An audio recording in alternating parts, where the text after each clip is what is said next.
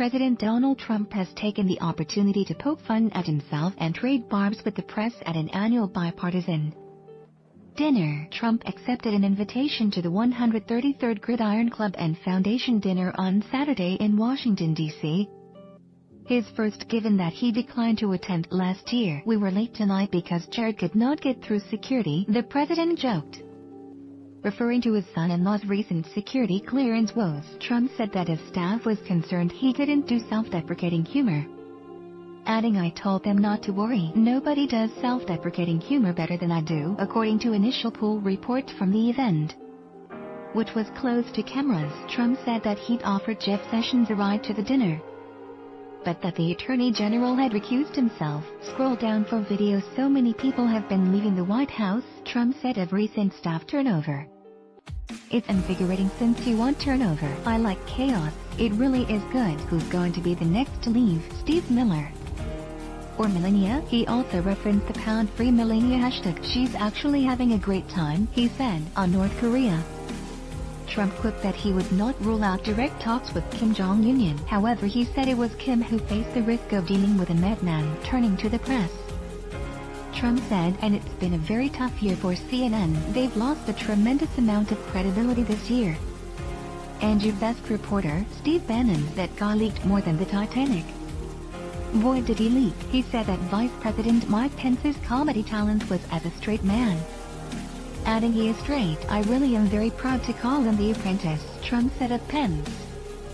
But lately he's showing a particularly keen interest in the news these days. He is asking has he been impeached yet? I don't like that, he continued.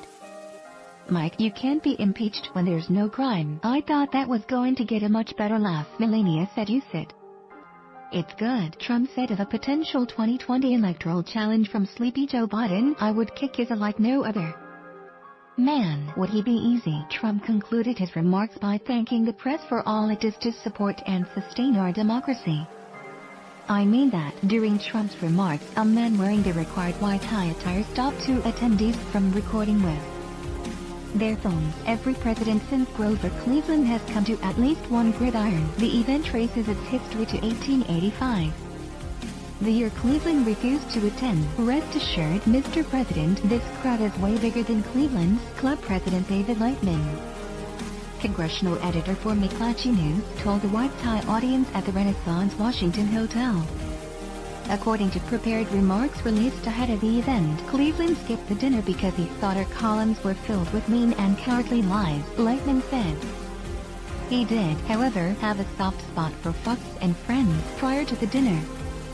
Trump entourage members spotted on their way inside included Jared Kushner and Ivanka Trump, as well as Treasury Secretary Steve Mnuchin and his wife Louise Linton.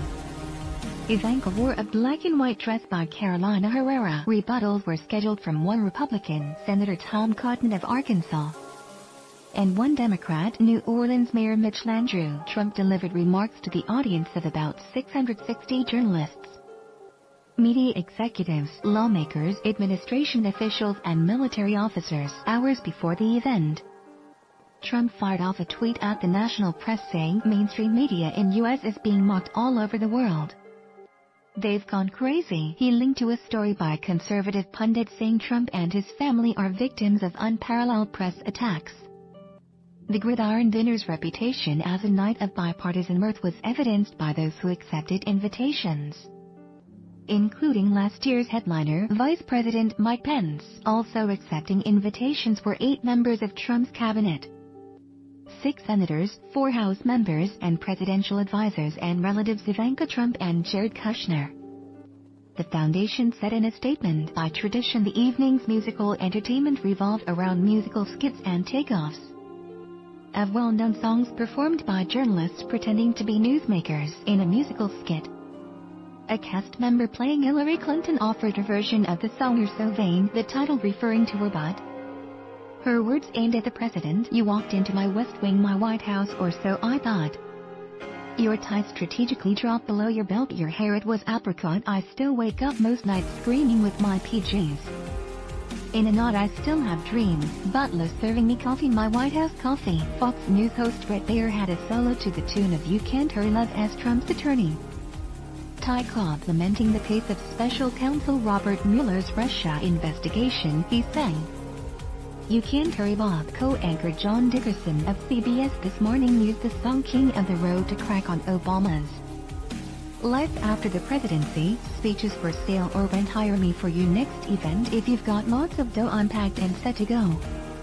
You know two hours of holding forth costs you more than your Ferrari's worth on the speaker's circuit now I am king of the road. A cast member playing House Democratic leader Nancy Pelosi turned to I'm Against It, a song from the Marx Brothers.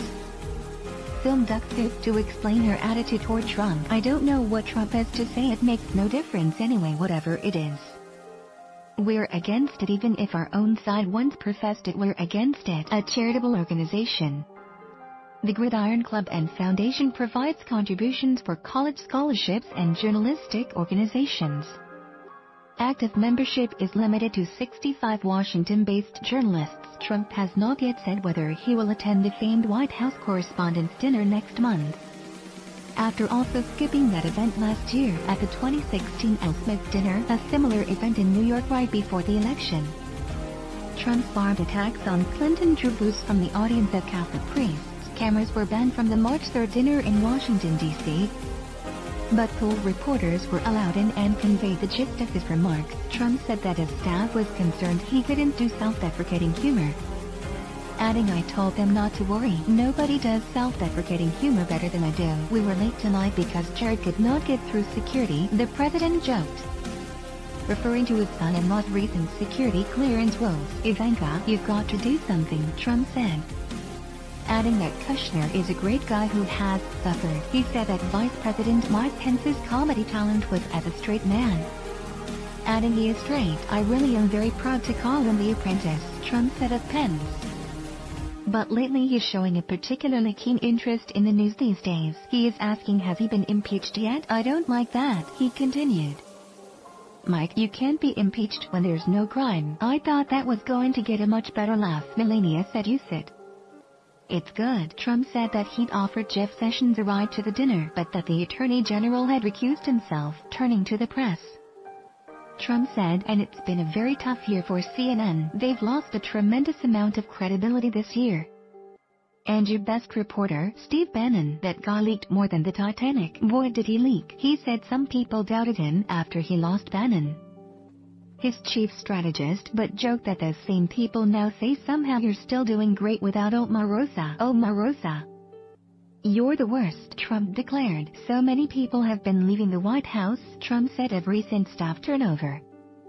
It's invigorating since you want turnover. I like chaos. It really is good. Who's going to be the next to leave? Steve Miller. Or Melania? He also referenced the pound-free Melania hashtag. She's actually having a great time, he said, on North Korea. Trump quipped that he would not rule out direct talks with Kim Jong-un as far as the risk of dealing with a madman is concerned. That's his problem, not mine, Trump said. He must be a fine man. Do you think he's a fine man? Trump said of a potential 2020 electoral challenge from Sleepy Joe Biden, I would kick his like no other. Man, would he be easy? Trump also mocked Oprah and Democrat Senator Elizabeth Warren.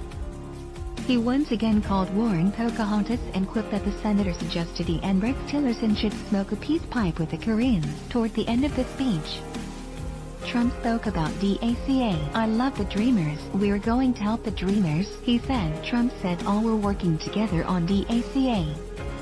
I hope that something's going to happen, said Trump. Trump concluded his remarks by thanking the press for all it does to support and sustain our democracy. I mean that.